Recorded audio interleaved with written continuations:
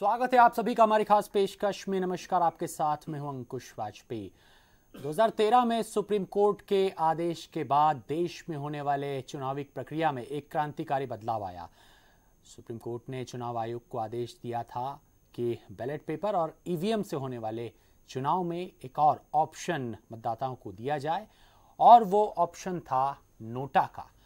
इस आदेश के बाद से जो 2013 के बाद जितने चुनाव हुए उसमें नोटा का इस्तेमाल किया, लोगों ने, लाखों लोगों ने इसका इस्तेमाल किया, लेकिन सवाल अब भी वही बना हुआ है कि क्या नोटा का विकल्प का कितना फ़ायदा चुनावी प्रक्रिया में आया है?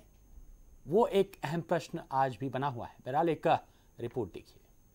दर्शिता लाने और उम्मीदवार पसंद नहीं होने की स्थिति में सुप्रीम कोर्ट ने चुनाव आयोग को आदेश दिया था। कि बैलेट पेपर और ईवीएम में बदलाव लाते हुए इसमें नोटा का विकल्प शामिल किया जाए। इस एक आदेश के साथ लोगों को चुनाव में वोटिंग के दौरान का विकल्प भी मिलने लगा। इससे उन लोगों को सुविधा हुई, जो अपने मताधिकार का उपयोग तो करना चाहते हैं, लेकिन किसी पार्टी विशेष को वोट नहीं देना चाहते। अब बात करते हैं नोटा का सिस्टम लागू करने के बाद इसके इस्तेमाल पर। मतदाताओं को चुनाव में उम्मीदवार को नकारने का अधिकार देते हुए सुप्रीम कोर्ट ने कहा था कि इस फैसले से भारतीय राजनीति की गंदगी धुल जाएगी। मतदाता भ्रष्ट और अनैतिक चरित्र के उम्मीदवारों को रिजेक्ट कर देंगे। इसके बाद राजनीतिक दलों को सही उम्मीदवार खड़े करने पड़ेंगे। इस फैसले का हर तरफ़ स्वागत हुआ। हालाँकि राजनीतिकार नोटा के सिस्टम को सीधे तौर पर गलत तो नहीं मानते, लेकिन नोटा में बढ़ती मतदाताओं की संख्या को वो दुर्भाग्यपूर्ण ज़रूर मानते हैं। मुझे लगता है ये स्थितियाँ ठीक नहीं है। लोकतांत्रिक व्यवस्था में अपने मताधिकार का प्रयोग यस और नो में ही करना चाहिए। लेकिन दुर्भाग्य से साठ पैंसठ सालों में कांग्रेस ने जिस प्रकार से शासन किया, जिस प्रकार से समाज का भावनात्मक शोषण करके यथार्थ में कुछ किया नहीं, उसके कारण से समाज के भीतर अविश्वास धीरे धीरे बढ़ता गया और उस अविश्वास की परिणति कहीं ना कहीं हमें नोटा में दिखाई देती है। लेकिन पुनः विश्वास लौट रहा है आप देखिए देश में लोकतांत्रिक व्यवस्था के प्रति, सरकार के प्रति तेज़ी से विश्वास बढ़ रहा है और आज सारी दुनिया में भारत की साख बढ़ रही है। पिछले दस सालों में तो हालत ये हो गई थी कि दुनिया में हम लोग भ्रष्टाचारियों के देश के रूप में जाने जाते थे। ज़्यादातर विवेचकों की राय है कि लंबे समय से मतदाताओं को राइट टू रिजेक्ट के अधिकार की प्रतीक्षा थी, लेकिन कुछ लोगों को यह भी लगता है कि बैलेट मशीन में इनमें से कोई का नहीं, इनमें से कोई नहीं का बटन उपलब्ध कराने से राजनीतिक चरित्र में कोई बदलाव नहीं आया।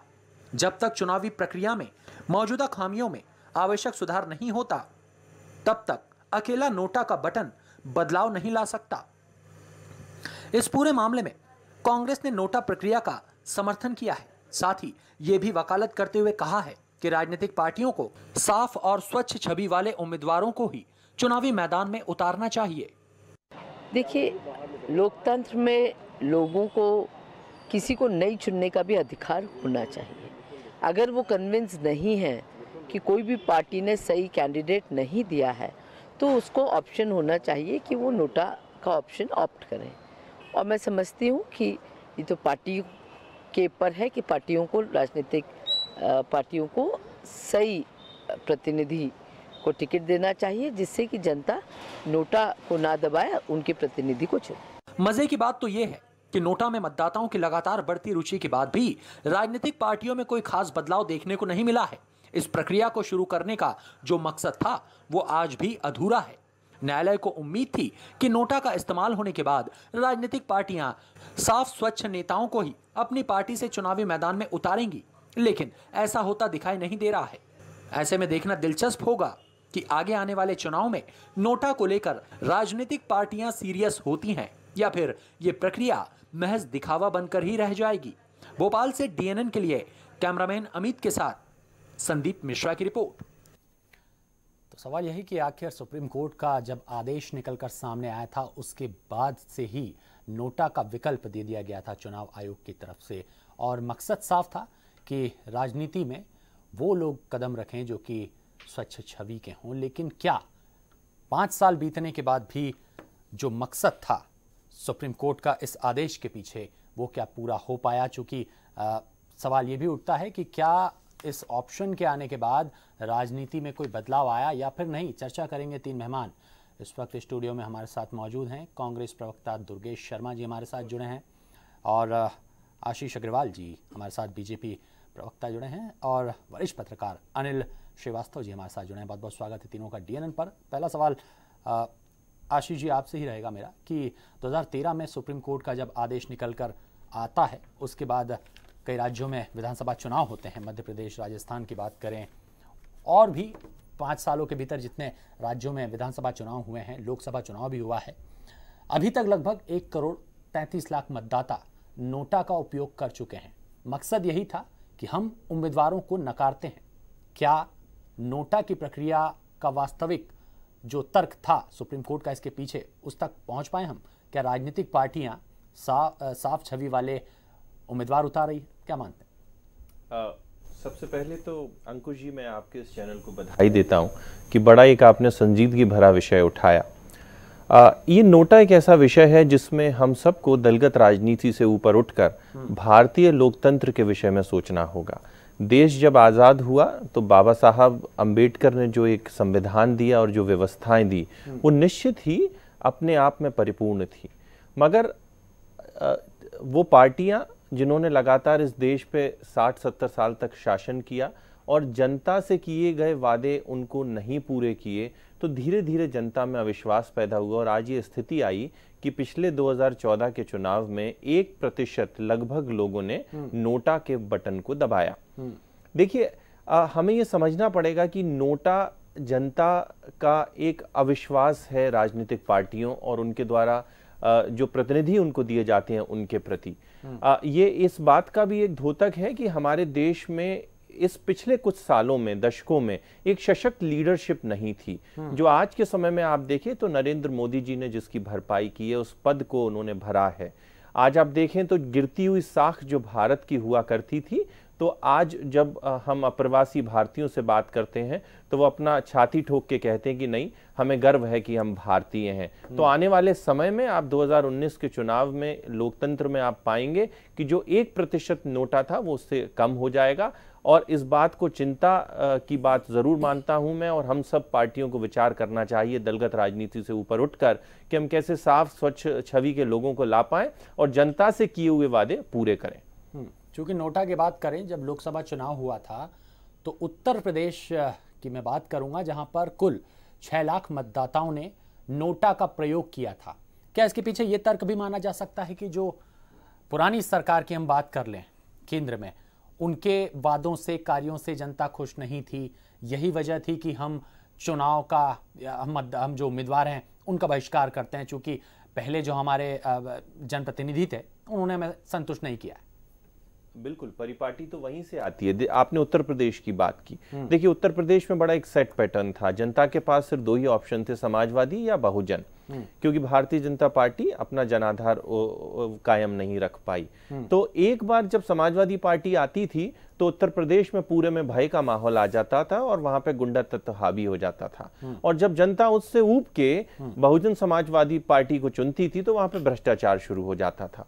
तो ये निश्चित ही उस दौर क्या का विश्वास है उस दौर की उदासीनता है। मगर आप विश्वास मानिएगा कि भारतीय जनता पार्टी की मोदी सरकार ने और प्रदेश में हमने जिस तरह के काम किए हैं जनता के प्रति खोया हुआ विश्वास मुझे ऐसा लगता है राजनीति में आपको लौटता हुआ दिखेगा। शर्मा जी आ, क्या लगता है लोकतंत्र में कितना फ़ायदा हुआ है? नोटा के बटन की जब से मैं बात कर रहा हूँ दो हज़ार तेरह से जब ये चुनाव आयोग ने इस विकल्प को नोटा, नोटा के रूप में दिया है। नोटा को 2013 में जब हम्म।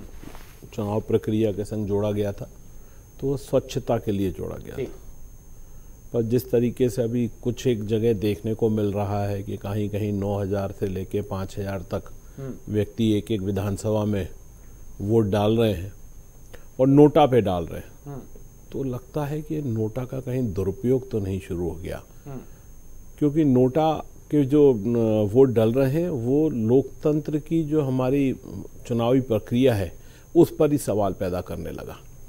और जिस तरीके से पूरे देश के अंदर चुनाव प्रक्रिया पर एक अविश्वास का वातावरण अभी देखने को मिल रहा है हर पार्टी जितनी विपक्ष में बैठी है वह चुनाव प्रक्रिया पे आए दिन सवाल उठा रही हैं कभी ईवीएम पे कभी कोई और चीज़ों पे। नहीं कांग्रेस के अलावा सब पार्टियाँ उठा रही कांग्रेस ने ईवीएम पे सवाल नहीं उठाया। कांग्रेस ने कहा कि विपक्ष यदि ये चाहता है कि ईवीएम से चुनाव ना हो तो हम भी विपक्ष के सभी दलों के साथ हैं। तो सवाल तो हर तरफ़ से उठ रहे हैं और उठने का लाजमी कारण भी है कि जिस तरीके से देखा कि गुजरात में चुनाव जिस तारीखों में आना चाहिए था, वहाँ पर केंद्र ने चुनाव आयोग को अपने हस्तक्षेप से वहाँ चुनाव समय में नहीं होने दिया। जिस तरीके से मध्य प्रदेश के अंदर हमने सवाल उठाया कि मध्य प्रदेश में 60 लाख फर्जी मतदाताओं की एक फहरिस्त हमने पकड़ी। जब चुनाव आयोग के समक्ष हम गए, उनने कह दिया, भैया, यहाँ तो कोई नहीं है। फिर अभी 24 लाख कहाँ से आ गए? तो ये जो चुनावी प्रक्रिया पर या चुनाव आयोग ने जो अपनी है ऊपर अपनी कार्यशैली से सवाल उठा दिए हैं मुझे लग रहा है आने वाले समय में नोटा और ज़्यादा दबने वाला है। क्योंकि आज जिस तरीके से चुनाव भारतीय जनता पार्टी ने कांग्रेस के प्रति एक दुर्भावनापूर्ण वातावरण पूरे देश में करने का प्रयास किया और वो सफल भी हुई। उसके कारण आज हम केंद्र से बाहर हैं और जो उनकी करनी है वो सबको दिखाई दे रही है तो उन पर से भी भरोसा उठ रहा है। यदि भरोसा नहीं उठा होता तो आज उत्तर प्रदेश अंदर के अंदर जो है समाजवादी और बहुजन समाजवादी पार्टी के प्रत्याशी लोकसभा में पुनः उपचुनाव में नहीं जीतते। शर्मा जी लेकिन आपने ज़िक्र किया आने वाले वक्त में नो, नोटा का और ज़्यादा मतदाता प्रयोग करते दिखाई देंगे। बिल्कुल लेकिन राजनीतिक पार्टियाँ इससे क्या सीख लेंगी?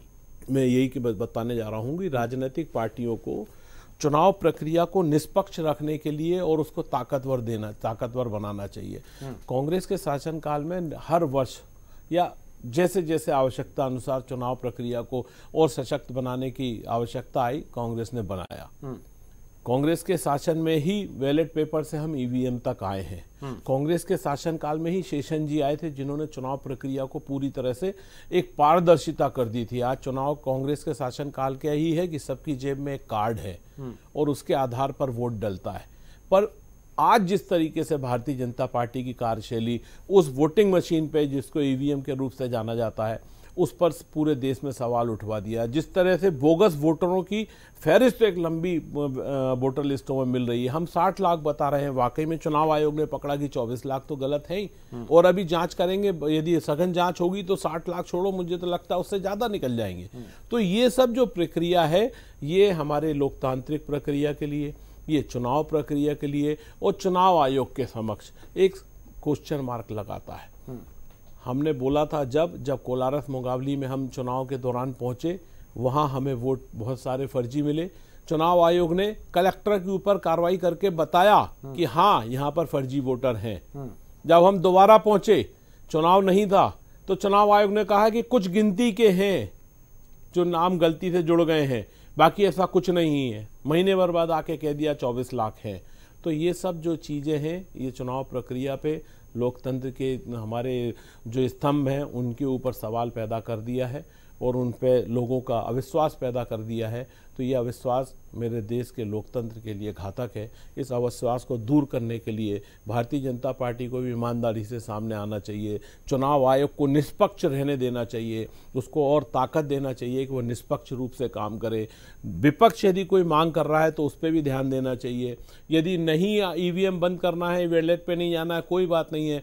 जो और कोई ऐसी प्रक्रिया लेके आना चाहिए। जैसे अभी हमने फिर एक बात करी है कि जो पर्ची है वो सात मिनट तक सात सेकंड तक आपको देखने को मिलती है हाँ। क्यों ना उसकी भी काउंटिंग करा ली जाए हाँ।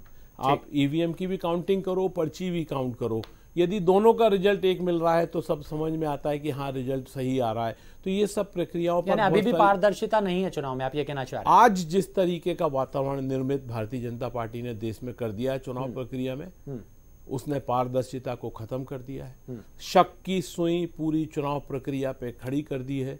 और ये ऐसा होता क्यों है? लेकिन देखिए आप कर्नाटक में अगर सरकार बना लेते हैं गठबंधन के बाद मैं तो आपको बोल रहा हूँ कर्नाटक में चुनाव पंजाब में आप जीतते हैं तब आप कुछ नहीं कहते हैं। नहीं मैं आपसे चुनाव प्रक्रिया पर जो सवाल कर रहा हूँ वो हम्म। इसलिए हो रहा है कि जिस तरीके से मध्य प्रदेश में देखने को मिला मुझे हम्म। कि हमने बोला साठ लाख फर्जी वोटर है। ठीक। आप जाँच करो कह दिया नहीं है। महीने भर बाद में खुद कह रहे हैं कि 24 लाख है। ये वही सिस्टम है ना? कोई नया सिस्टम तो नहीं आया। हम्म। एक महीने दो महीने पहले उसी सिस्टम ने बोला कि एक भी वोटर फर्जी नहीं है। हम्म। फिर आके कह दिया कि 24 लाख है। हम कह रहे हैं कि अभी भी है। हम्म। उसको क्यों नहीं आप जाँच प्रक्रिया में लेके आ रहे क्यों नहीं सघन जाँच करवा रहे और क्यों उस व्यक्ति को वहाँ पर अभी तक दंडित नहीं किया जा रहा जो चौबीस लाख वोटरों को फर्जी को जोड़ा गया? तो ये सवाल उठ रहे हैं। इससे लोगों के बीच में चुनाव प्रक्रिया के ऊपर और जो नोटा के प्रति जो रुझान है वो बढ़ रहा है? ठीक है। अनिल जी क्या लगता है नोटा के ऑप्शन के आने के बाद कितना फ़ायदा हुआ इस ऑप्शन का? आ, साफ़ तौर पर अगर लोकतंत्र की हम बात करें तो चुनावी प्रक्रिया की अगर हम बात करें तो। देखिए अंकुश जी ऐसा है कि ये हमारे देश का इसको दुर्भाग्य कहा जाएगा कि जिस उद्देश्य की पूर्ति के लिए सर्वोच्च न्यायालय ने नोटा की व्यवस्था की थी जी। वो उस उद्देश्य की पूर्ति नहीं हो रही है। नोटा का उपयोग आदमी मौजूदा व्यवस्था से अप्रसन्न होकर करता है कभी पूर्व की नहीं करता। किसी के क्षेत्र में विकास नहीं हो रहा किसी के क्षेत्र में दुनिया भर की घोषणाएँ हो गई और वो कार्य पूरा नहीं हो गया। केवल प्रत्याशियों तक नोटा सीमित नहीं रहता। मतदाता कई बार अपने क्षेत्र में घोषणा के बावजूद अगर विकास नहीं होता तो अड़ता है कि पहले ये काम करवा उसके बाद वोट डालेंगे नहीं हम वोट ही नहीं डालेंगे। और वोट डालेंगे तो हम नोटा को देंगे। तो ये सारी चीज़ें हैं। तो वर्तमान में जिस तरीके से नोटा का उपयोग बढ़ रहा है और नोटा वाले मतदाताओं की संख्या बढ़ रही है ये भविष्य में और ज़्यादा बढ़ेगी कम नहीं होगी। इसको किसी भी कीमत पे रोका जाना चाहिए। सबसे बड़ा सवाल ये होता है कि नोटा में जिस तेज़ी के साथ संख्या बढ़ रही है जी। और चुनाव के बाद उस क्षेत्र के मतदाताओं ने जिनने नोटा का उपयोग किया है उनसे बैठ करके कि भाई आपके पास क्या परेशानी है? आखिर आपने क्यों किस बात की नाराज़गी है? उनकी नाराज़गी दूर करने के प्रयास नहीं किए जाते काउंटिंग के बाद उनको बुला दिया जाता है। तो समस्याएँ तो यथावत रहती हैं। और वो नोटा का उपयोग आने वाले समय में भी करते हैं क्योंकि उनकी समस्या का हल नहीं होता। पहली चीज़। दूसरी चीज़ हमारी चुनावी प्रक्रिया में प्रक्रिया में कई विसंगतियाँ आ रही हैं। पिछले बार आप देखिए कोलारस और रेशियोपुर वगैरह में जो चुनाव हुए उस चुनावी प्रक्रिया में मतदाताओं के इनडायरेक्ट वे में घोषणाएँ की जाना उससे चुनाव आयोग को शिकायत की गई मुख्यमंत्री को नसीहत मिली दो मंत्रियों को नोटिस दिए गए दो कलेक्टरों को हटाया गया। ये इस बात का प्रमाण है कि कहीं ना कहीं चुनावी प्रक्रिया में हस्तक्षेप हुआ है। और इसीलिए चुनाव आयोग ने कांग्रेस की शिकायत पर यह कार्रवाई करी थी।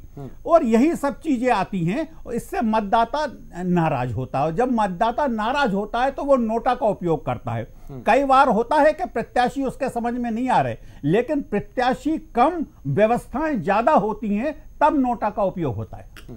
ये एक अहम प्रश्न आपने अनिल जी उठाया है कि आखिर ये जानने की ज़रूरत है कि मतदाता नोटा का उपयोग क्यों कर रहा है? नाराज़गी क्या है? जी, जी। ये ये राजनीतिक पार्टियों की भी ज़िम्मेदारी है कि आप विकास यात्रा भी निकाल रहे हैं जन आशीर्वाद यात्रा भी निकाल रहे हैं कांग्रेस भी यात्रा निकाल रही है जन जागरण यात्रा लेकिन मतदाता आखिर चाहता क्या है? ये एक अहम प्रश्न ये पूछने की ज़रूरत है। बहरहाल एक छोटे से ब्रेक के लिए हम यहाँ पर रुकेंगे। खास पेशकश हमारी लगातार जारी है, देखते रहिए डीएनए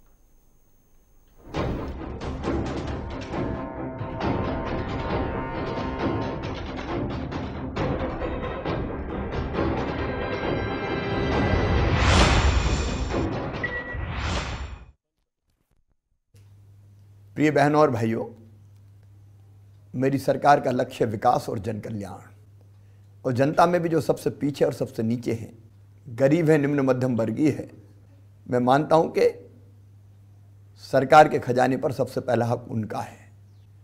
और इसलिए मुख्यमंत्री जन कल्याण योजना संबल ऐसे गरीब और निम्न मध्यम वर्गीय बहनों और भाइयों के लिए हमने बनाई है। इस योजना में अनेकों लाभ दिए जा रहे हैं, लेकिन मैंने देखा, कई मेरे भाई और बहन बिजली के बड़े बिलों से परेशान थे। एक लाख पचास हज़ार। कहाँ से गरीब और निम्न मध्यम वर्गीय देगा? इसलिए इस योजना में हमने तय किया कि जिनके बड़े बिजली के बिल है, वो बिजली के बिल वो नहीं भरेंगे। उनकी तरफ़ से शिवराज सिंह चौहान भरेगा, सरकार भरेगी। और इसलिए हमने मुख्यमंत्री बिजली बिल माफ़ी योजना बनाई, ताकि आपके बिजली के बिल हम माफ़ कर सकें। शिविर लगाए जा रहे हैं। रजिस्ट्रेशन करवाया जा रहा है। आप अपना बिजली का बिल लेके पहुंचिए। और आप मुख्यमंत्री जन कल्याण योजना में पंजीकृत हैं तो आपके बिजली का बिल जमा होगा। और बाद में ज़ीरो बिजली बिल का प्रमाण पत्र आपको दे दिया जाएगा। और बिजली के बिलों के बोझ से आप मुक्त हो जाएँगे। घबराइए मत, बिल्कुल चिंता मत कीजिए। मैं हूँ ना। अभी बिजली का कनेक्शन उनके पास नहीं है तो वो कनेक्शन भी फ्री में दिए जाएँगे, निशुल्क दिए जाएँगे। और बिजली से संबंधित छोटी मोटी जो धाराएँ मामले 126, 135 है 138 में दर्ज है वो भी हम वापस ले रहे हैं। गरीब पे कैसा मुकदमा छोटा मोटा मेरे बहन और भाइयों खुली हवा में सांस लीजिए। इस योजना की अंतिम तिथि भी कोई नहीं है। इसलिए आइए इस योजना का लाभ उठाइए।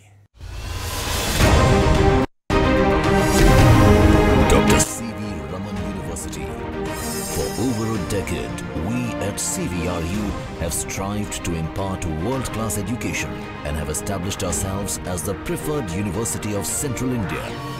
Consistently making our mark in the education landscape, we rise above the ordinary. We are Dr. C.V. Raman University, the pride of Chhattisgarh.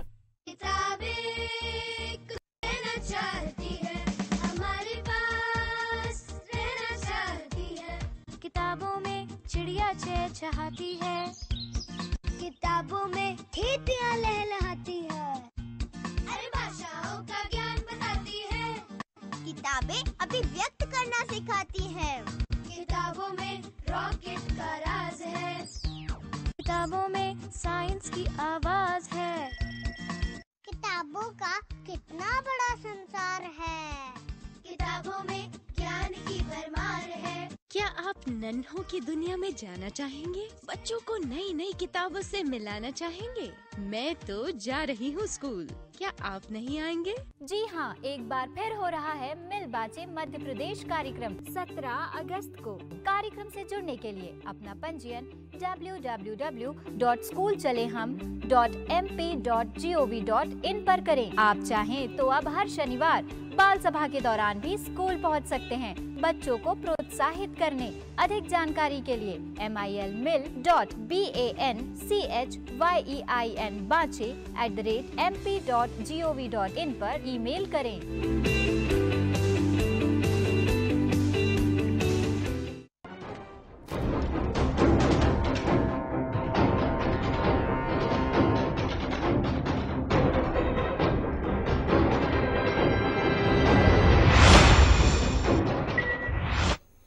Break के बाद एक बार फिर आपका स्वागत है। हमारी खास पेशकश लगातार जारी है।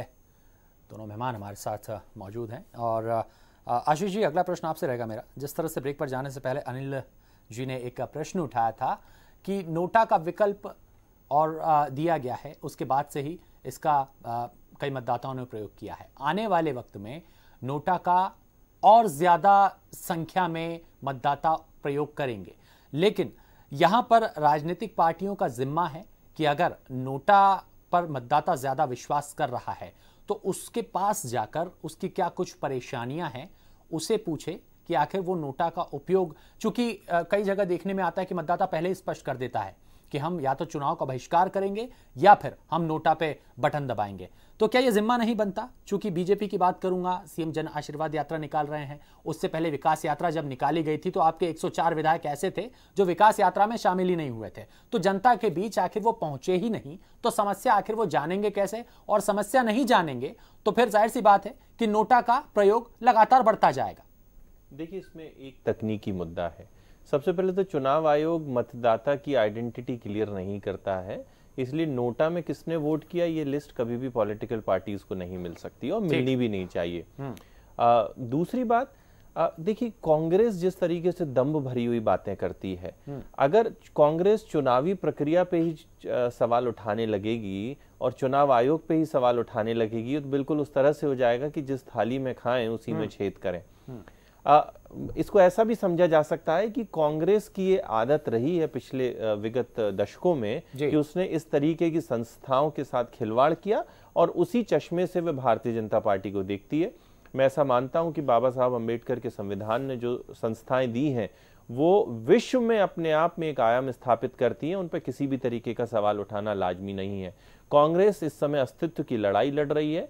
कांग्रेस का जन्म एओ ह्यूम एक विदेशी ने किया था और आज सोनिया गांधी जी जो एक विदेशी है उनके नेतृत्व में इसका खात्मा होने वाला है। इसको कहते हैं theory of evolution and theory of devolution आज वो खुद जनता के बीच नहीं जाना चाहती है जनता की बात नहीं करना चाहती आप देखिए ना पिछले साढ़े चार सालों में एक विपक्ष का जो रोल होता है, वो अगर कांग्रेस ने अदा किया होता तो आज उनको सड़क पे इतनी तकलीफें थोड़ी आ रही होती। जहाँ तक भारतीय जनता पार्टी की बात है तो भारतीय जनता पार्टी सतत अपने क्षेत्र की जनता से कनेक्ट बना के रखती है। आज भारतीय जनता पार्टी ने ये जन आशीर्वाद यात्रा की व्यवस्थाएँ शुरू की हैं जिसमें हम चार साल पहले हमने जो वादे किए थे आज उसका हिसाब किताब देने हम जनता के समक्ष उपस्थित होते हैं। और आप देखेंगे कि अगर हमने वो वादे पूरे नहीं किए होते तो इतनी कड़ी बारिश में भी छाते लेकर लाखों के संख्या में आपको जनता नहीं दिखती। आ, मैं ऐसा मानता हूँ आपने जो बात कही पॉलिटिकल पार्टीज़ की ज़िम्मेदारी है कि उनको राजनीति शुचिता और अच्छे कैंडिडेट्स जनता को देने चाहिए और अपने वादे निभाने चाहिए। अनिल जी जिस तरह से प्रश्न उठ रहा है, नोटा के उपयोग का और लोकतंत्र में इसका क्या फ़ायदा हुआ, कितना फ़ायदा हुआ इसका? लेकिन जब ये सवाल राजनीतिक दलों से पूछे जाते हैं, जिम्मेदारों से पूछे जाते हैं कि आखिर क्या वजह है कि जो मतदाता अब बढ़ चढ़कर नोटा के बटन का उपयोग कर रहे हैं तो आपको नहीं लगता कि उसकी समस्या जानने से इतर राजनीतिक पार्टियाँ एक दूसरे पर आरोप प्रत्यारोप लगाने लग जाती हैं अंकुश जी आप सही कह रहे हैं हम्म। कि नोटा का उपयोग मतदाता क्यों कर रहे हैं उनकी क्या नाराज़गी है हम्म। और उस नाराज़गी को कैसे दूर किया जाना चाहिए इसको छोड़ अगर राजनीतिक दल ये कहेंगे कि साहब वो नोटा वाला ऑप्शन ही हमारे समझ में नहीं आ रहा जैसा भी भारतीय जनता पार्टी के प्रदेश प्रवक्ता पाराशर जी बोल रहे थे टीवी पे कि हम इस पक्ष में नहीं है केवल मतदाताओं के बीच में होना चाहिए हम्म। इससे इतर नहीं होना चाहिए। मैं समझता हूँ ये गलत है। हम्म। जन भावनाओं का ध्यान रखा जाना चाहिए और सर्वोच्च न्यायालय ने जो व्यवस्था दी है नोटा की हम्म। वो बिल्कुल सही है। और नोटा का मतलब ये होता है कि आदमी में नाराज़गी किस बात को लेकर है? जी जी। और वही वो उसको अपनी नाराज़गी वो नोटा का बटन बता दबाकर व्यक्त करता है हम्म। और अधिकांश आप देखें नाराज़गी मौजूदा सरकारों से होती है हम्म। पूर्व सरकारों से कभी नहीं होती हम्म। क्योंकि मतदाता चाहता है क्षेत्र का विकास अधिकांशता वो नोटा का उपयोग विकास को लेकर करता है और जब विकास नहीं होते तो वह नाराज़गी नोटा दबा के व्यक्त करता है हम्म। लिहाजा अगर राजनीतिक दल चुनाव के पश्चात उनके पास जाए चाहे वो सत्ताधारी दल हो चाहे विपक्ष को हो दोनों की बात कर रहा हूँ मैं हम्म। कि उनके पास के भाई आपकी क्या नाराज़गी है और हम किस तरीके से आपकी नाराज़गी दूर कर सकते हैं कि दोबारा अगले चुनाव में आप नोटा का प्रयोग ना करें हम्म। इसको अगर छोड़ के हम उनको भूल जाएँगे विसरा देंगे हम्म। तो वो समस्या समाप्त नहीं होगी डे बाई डे बढ़ेगी। हम्म। चूँकि ज़िक्र इसलिए भी मैंने किया है कि जब बीजेपी की विकास यात्रा निकली थी जी। उसके बाद एक रिपोर्ट तैयार हुई जी। 104 विधायक विकास यात्रा में पहुँचे ही नहीं उसमें मंत्री भी शामिल थे। तर्क ये भी पीछे दिया गया कांग्रेस की तरफ़ से कि जब विकास किया ही नहीं है तो जनता के बीच जाकर क्या बताएँगे? जी, जी, जी. और एक तर्क ये भी था कांग्रेस का इसके पीछे कि क्षेत्रीय विधायक पहुँचे ही नहीं विधानसभा सीट अपने विधानसभा क्षेत्र में चूँकि उन्होंने कुछ काम किया ही नहीं था। तो जनता से गालियाँ सुनने के लिए जाते क्या? ये तर्क भी दिया गया। तो क्या ये ज़िम्मेदारी नहीं बनती जनप्रतिनिधियों की कि आप जाइए और चूँकि अब मध्य प्रदेश का ज़िक्र करूँगा चूँकि साल के अंत में विधानसभा चुनाव होने वाले जी। जी। नहीं ये सही है कि जनप्रतिनिधियों के प्रति जब लोगों की नाराज़गी होती है हम्म। तो मामला तूल पकड़ता है। हम्म। अब उसको हम अगर दबाने की कोशिश करें तो हम हमारे हाथ से अपनी कबर खोदने वाली स्थिति कहावत होती है कि हम हमारे हाथ से अपना अहित कर रहे हैं हम्म। हमें लोगों की नाराज़गी दूर करना चाहिए। रही बात इसकी कि अब आज भले ही कहे कि जन आशीर्वाद यात्रा में भीड़ उमड़ रही है कांग्रेस दावा कर रही है कि उनकी पोल खोलो यात्रा में भीड़ उमड़ रही है मैं भीड़ पे नहीं जाता मैं राजनीतिक दलों पे नहीं जाता बात अपने टॉपिक चल रहा है। केवल और केवल नोटा वाले मामले में। तो मेरा सबसे बड़ा मानना यह है कि नोटा को लेकर के सभी राजनीतिक दलों का यह फ़र्ज़ बनता है कि मतदाताओं से पूछा जाए कि आखिर क्यों नाराज़गी है और उनकी नाराज़गी दूर की जानी चाहिए। आशीष जी तीस सेकंड बड़े संक्षिप्त में जी जी। देखिए जब हम कहते हैं हमारे मीडिया प्रभारी कहते हैं कि नोटा दुर्भाग्यपूर्ण है इसका मतलब यह है कि मतदाता को पाँच साल में एक बार अपना प्रतिनिधि चुन के तो भेजना ही पड़ेगा हम्म। अगर इस ज़िम्मेदारी का निर्वहन नहीं होगा हम्म। किसी भी कारण से तो वो दुर्भाग्यपूर्ण होगा और लोकतांत्रिक प्रक्रिया से खिलवाड़ होगा हम्म। ये हम मानते हैं बाकी नोटा जो सुप्रीम कोर्ट के आदेश से हुआ हम ऐसा मानते हैं कि राजनीतिक पार्टियों को खुद उसमें आगे आके एक अच्छे कैंडिडेट देने चाहिए ताकि हम्म। नोटा का वर्चस्व अपने आप में हम्म। समाप्त हो जाए। हम्म। ये जो बात आ रही है कि विकास यात्रा में लोग नहीं गए मैं जिस विधानसभा से आता हूँ मैं जिस क्षेत्र से आता हूँ मैंने ऐसा कहीं नहीं देखा। ये सिर्फ़ मीडिया की बातें हैं। हमारे विधायक हर विधानसभा में गए हैं। हम एक कैडर बेस्ड पार्टी है जिसका एक इंटरनल लोकतंत्र है। अगर ऐसा कोई भी विधायक है जो नहीं जाएगा उसके खिलाफ कड़ी कार्रवाई होगी और हमारा तो मुखिया जा रहा है। हमारा तो मुखिया जा रहा है और उसको अपार जन समर्थन मिल रहा है। इससे लोग अगर तकलीफ़ में आते हैं तो आए हम्म। क्योंकि हमें तो जनता का आशीर्वाद हम्म। चाहिए। जी चलिए बहुत बहुत शुक्रिया आप दोनों का चर्चा में शामिल होने के लिए। तो बहरहाल चूँकि सवाल आखिर यही कि आखिर नोटा नोटा का तर्क साफ़ तौर पर सुप्रीम कोर्ट का जब ये आदेश आया था उसके पीछे मकसद यही था कि जो मतदाता है उसके सामने एक साफ़ सुथरी छवि का कैंडिडेट उम्मीदवार सामने हो ताकि वो अपने मताधिकार का उपयोग कर सके। लेकिन आ, जब से ये आदेश आया जिन जिन राज्यों में चुनाव हुए वहाँ पर नोटा का बड़ी संख्या में प्रयोग किया गया। लेकिन आ, सवाल यही कि आखिर जो मकसद था नोटा के पीछे का वो क्या साकार हो पाया? सवाल अभी भी बना हुआ है। चूँकि नोटा का आने वाले वक्त में बड़ी संख्या में मतदाता प्रयोग करने वाले हैं जिस तरह से अनिल जी ने चर्चा के दौरान कहा। चले फ़िलहाल हमारी खास पेशकश में इतना ही। डीएनएन पर खबरें लगातार जारी। नमस्कार।